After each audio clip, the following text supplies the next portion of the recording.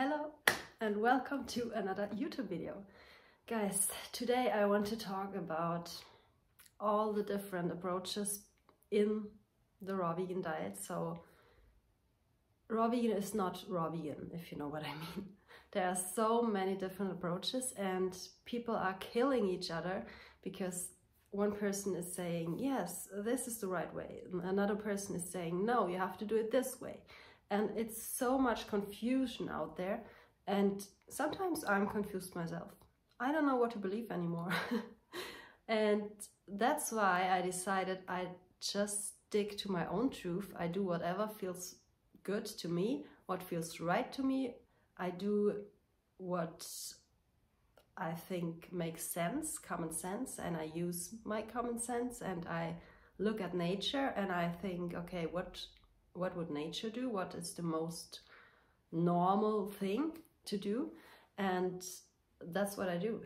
and usually I I succeed and I also see success um, when I work with my clients. So yeah, that's that's the proof. But if you are extremely confused now and you don't know what to do anymore because no matter where you you look at no matter which channel you're watching no matter which book you're reading everyone have everyone has a different opinion and yeah it's it's really hard nowadays to just not freak out so i wrote down some points which i think um, yeah these are the most common things where people disagree on. So the first thing is dehydrated foods. Some people are really big into dehydrating. They make wraps, they make raw vegan pizzas, they make crackers, they make cakes, everything. They put their red cheese in the dehydrator to make them more soft or whatever. They use the dehydrator almost every day. They make dried fruits and they always yeah, do something with their dehydrator. And then there are, on the other hand, there are the um, people who are just completely against dehydrating and they say no you need the water in in the foods and it's completely unhealthy and it will mess up your digestion and yeah so what to do anymore i don't know i mean i know i don't like dehydrated foods either but that's not um, the topic of the video i will not say what is my opinion i just say these things who are completely confusing. So that's the first thing. Then food combining. Some folks say you have to follow food combining rules to a a T because otherwise you will again mess up your digestion, you will feel bloated and you cannot cannot absorb the nutrients in a proper way and then on the other hand there are people who are telling you it's completely unnecessary to follow any food combining rules and you can eat whatever you want. You can mix fats and sweet fruits in your smoothie and you will be just fine. yeah, I don't know. It's confusing, right? Next thing I found is seaweed. So there are people who say seaweed is super healthy for your iodine levels and you have to eat it at least three to four times a week and it's super good for your hormones and thyroid health and whatnot. Other people tell you don't eat seaweed, it's not natural for humans. We are not sea animals, we, we live on earth. We are not supposed to eat seaweed. So, what to do? Next thing is fat. So, some people say please stay away from over, fat. Best thing would be don't consume any overt fats at all. Other people say fats are super healthy. You need omega-3s in abundance. You need, you need healthy fats for your, again, hormone health and hormonal health and uh, I don't know. Should we now follow a high fat diet in order to, to have glowy skin and be healthy? Or should you follow a low fat, high carb diet? Confusing. Next thing is fruits. Some people completely avoid fruits in the raw vegan community. They say it feeds cancer, it feeds uh, pathogens, I don't know. It's just like a stimulant, like they compare it with drugs and they say people who are eating a lot of fruit, they are just always on, on a high and it's like like taking drugs and the sugar is not healthy, you know. And then there are people who tell you your main calories should come from fruit. You should at least aim for 80% of your calories, yeah, should come from fruit and eat as much as you want. Eat maybe 30 bananas a day and carb up, carb up, carb the fuck up. you know, confusing. Next thing, smoothies. Some people tell you, yes, smoothies are perfect. You have to drink at least one smoothie every day. Green smoothies are the best and they are already pre-digested. It's easy to digest. You don't have to um, make such a big effort if the food is already blended and it's perfect. You can put so much different nutrients in there. Other people say, no, drinking smoothies is not natural you will mess up your digestion. It's not good to put so much different ingredients into one smoothie. And again, it's, it's not good for your digestion, for your, um, what would I say? um, food combining, for food combining, because sometimes smoothie recipes are crazy with 10 different ingredients and mixing fats and sugar. Mm, confusing, confusing. Same juices. Um, should we drink juice? Some folks are promoting it like crazy. They are experts on juicing, they offer programs selling their juice fasting programs and other people say don't do that ever. Don't go on a juice fast, don't go on a juice cleanse, just don't do it, it's unhealthy, you will gain weight afterwards, you will um, binge eat afterwards and people are confused. What should we do anymore? Next thing is salads. Some folks are really big on salads. They say you need all the greens, eat your greens every day. And it's so important for your minerals and also calcium, magnesium and amino acids, all that stuff. Eat your greens. And then there are people they are just completely fruitarians, so they don't eat any greens at all. They, they just survive on fruit only.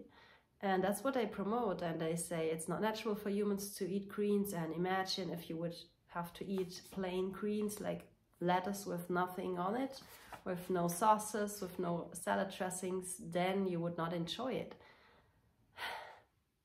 what to do? I don't know. Confusing. Next thing is organic or non-organic. Some people say if you don't buy organic food, you will basically die because all the pesticides and it's so unhealthy, it's sprayed and all the toxins will accumulate in your body and you just, you set, you up, you set yourself up for failure. So that's their opinion. And then there are people who say, no, these days it's it's anyways also the organic stuff is sprayed and it's you can eat non-organic as well it doesn't matter. So again it's so crazy. Then next thing would be powders and supplements. Some people try to to, to sell you any powders and green powders and supplements and they say you have to supplement with this and that and of course vitamin B12 and vitamin D and zinc and vitamin C and whatnot and then there are other people who say no it's not good to supplement at all. We don't need any supplements just eat fruits and vegetables and you will be fine. You will be the healthiest human being. Just stick to a raw vegan diet and we don't need to supplement. So don't ask me. Next thing is high calorie intake. So some people say you really have to carb up. You have to eat so much calories on a raw vegan diet because otherwise you will be deficient in all different kind of nutrients and you will have no energy and you will not be able to gain muscles. So then there are people who tell you, no, no, no, no. If you are on a raw vegan diet, then with every year you will need less. You will need to eat less because your body will become more efficient and you just don't need so much calories anymore. And maybe one or two years from now, you can really decrease your calorie intake and you will still sustain yourself and not lose weight. So, what can we do? Ah, uh, yes, I told you, it's confusing. Next thing is fermented foods. That's a huge one too. So, there are so many people promoting it and yeah, telling you you need fermented foods, you need it because of your microbiome, your gut microbiome, and all these bacteria will thrive if you feed them fermented foods, and it will help you to just be the best version of yourself and whatnot. And then there are people who are telling you, no, don't eat fermented foods ever. It's moldy, it's not good, it's not supposed for human beings, and you should just stay away from it. Next thing, sprouts. Sprouts are super high in protein and minerals. They are just superfoods. Everyone should sprout. Just start sprouting and put sprouts into your salads every day. Your life will change. Then someone else is telling you don't eat sprouts. Animals in nature are not sprouting their things and no, it's not natural, you should stay away and it's way too much protein. We don't need so much protein on a raw vegan diet and it's so confusing. And another thing, oils. I mean, yeah, it's fat, concentrated, 100% fat, and some raw vegans tell you it's isolated fat, don't eat it. You're not supposed to eat oils, it's not natural. It will make you gain weight, it will just add up um, with your calorie intake, and that's not necessary to consume so, so many calories which basically don't satis satisfy you. And on the other hand, there are some people who tell you, no, cold pressed olive oil, for example, is so healthy and it has antioxidants and coconut oil. Coconut oil, another thing. You should um, consume coconut oil and it has these healthy fats. I don't know. Yeah, confusing, confusing. And then I have three more. Crucifer vegetables like broccoli and cauliflower. People tell you it's not human food. If you should eat it, like again, without if you eat it without um, sauces, without fats, without dressings, just plain, you would not like it, and that's that's a sign that you're not supposed to eat it. Then there are other folks who are telling you you should eat cruciferous vegetables at least three times a week because it's so good for your gut microbiome. It will feed all the good bacteria and the fiber is important and I don't know. Yeah, confusing again. Then two more. Uh, uh, uh, no, one more. Nuts. People tell you you should eat nuts every day in small amounts in your salad dressing because at least, yeah, some nuts are important and for especially for women with hormonal issues or you just need a little bit more fat in your diet as a woman and then there are people who are telling you, stay away from nuts. Human in nature or animals in nature would not eat nuts because it's so much to do to peel a nut and eat it and you would not be satisfied and it would be too much work to peel enough nuts to make a meal out of it. So in nature you would you would rather grab a fruit from a tree and eat it instead of peeling these tiny little nuts and trying to to feel sati satiated on it. So that's not going to happen. So you're not, not supposed to eat nuts. Yeah, and I'm sure there are more things people disagreeing on, so I don't know. That's just um, what I came up with and yeah, sure there are more things. And let me know in the comments below if you have more topics more um, yeah just more things people disagree on. And how do you handle it? Like i said for me i just try to figure out what makes most sense and i listen to my body and i just try to do what resonates with me. So and i think you should do the same. There's no other solution on that. You otherwise you, you just freak out. You freak out. And it's not even we're not even talking about different diet diets beliefs. So for example there are carnivore diets there are omnivore diets there are high carb low fat we're just talking about the differences in between in the raw vegan community so within the raw vegan community there is already so much confusion so I'm not even talking about other folks out there who are not in the raw vegan community. So if you would start comparing yeah, the differences between between the raw vegan community and some other folks, then we would go completely crazy. But I'm assuming you are um, watching this video because you're interested in raw veganism or plant-based lifestyle at least. So yeah, I'm consume I'm assuming you are not interested in comparing these topics with other diet cultures, but uh, it's really hard, it's hard. And with this video, I just want to say you are not alone. We are all in the same situation and we are confused today.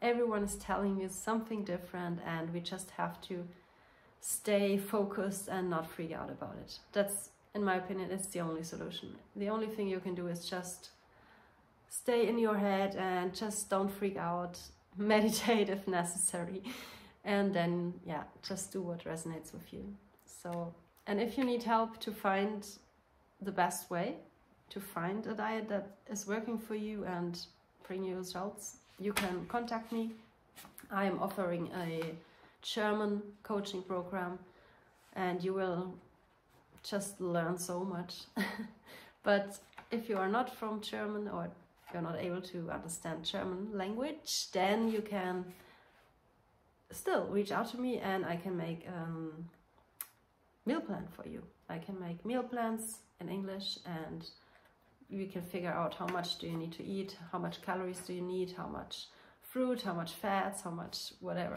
We can figure it out together and then yeah, you just don't need to be so confused anymore if you have an actual plan in front of you, it can really be helpful.